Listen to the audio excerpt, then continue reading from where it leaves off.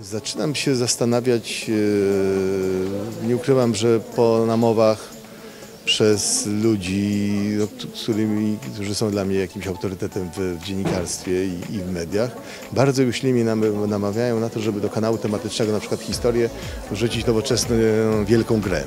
Taką zabawę w wolnym tempie dla, dla inteligencji. To znaczy wiadomo, że to nie jest program w tym tempie, który e, olowo może, może zrobić wynik, ale żeby pokusić się o taki, taki pozytywny resentyment w tej sprawie na kanale tematycznym. Zastanawiam się, no, ale, ale tak to zastanawiam. Kiedyś myślałem o turnieju miast, ale w tych czasach to już, to już będzie strasznie trudno zrobić.